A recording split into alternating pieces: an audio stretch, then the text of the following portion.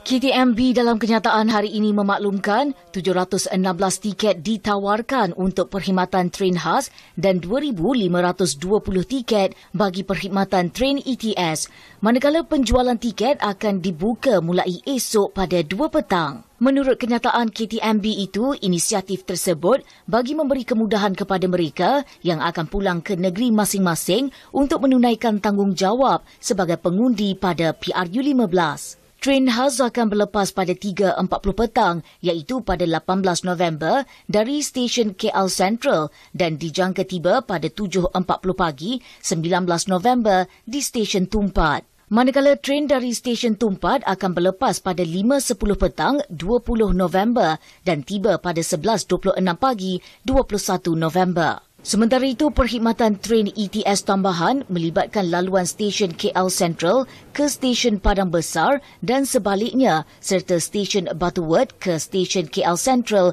turut disediakan bagi tarikh yang sama. Tiket boleh didapati melalui aplikasi KTM Mobile KITS atau laman sesawang KTMB.